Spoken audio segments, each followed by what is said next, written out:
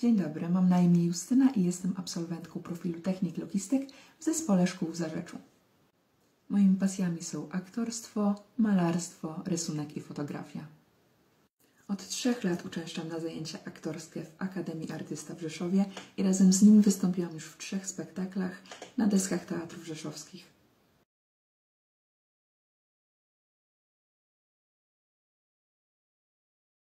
Rysuję portrety i maluję obrazy, które w większości przedstawiają krajobrazy, ale nie tylko.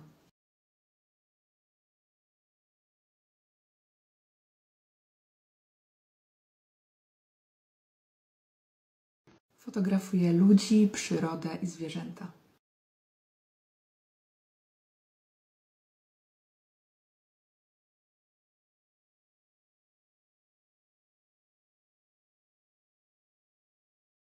W szkole swoje pasje rozwijałam poprzez branie udziału w konkursach plastycznych, e, fotograficznych i branie udziału w e, przedstawieniach szkolnych.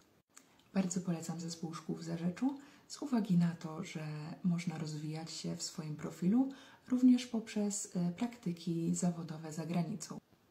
Panuje tam przyjazna atmosfera, a nauczyciele są bardzo pomocni i życzliwi.